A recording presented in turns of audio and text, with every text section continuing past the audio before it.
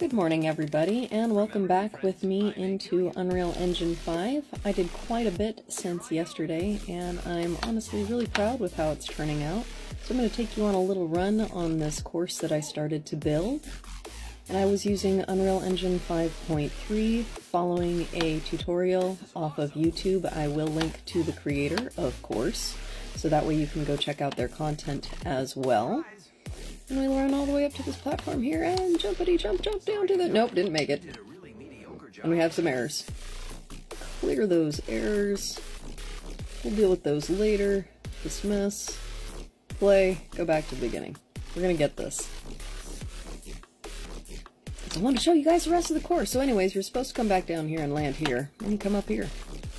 Follow back around this way. Isn't this fun? Look at this little jumping puzzle that I'm building.